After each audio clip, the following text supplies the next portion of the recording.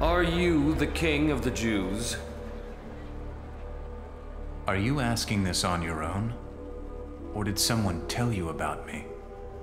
Your own people and the chief priests brought you to me. What have you done? My kingdom is not of this world. Are you a king then? You say I am a king. Actually, I was born and came into the world to testify to the truth. All who love the truth recognize that what I say is true.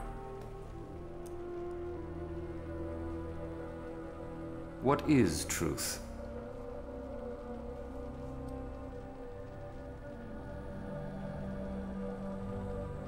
Take him and scourge him.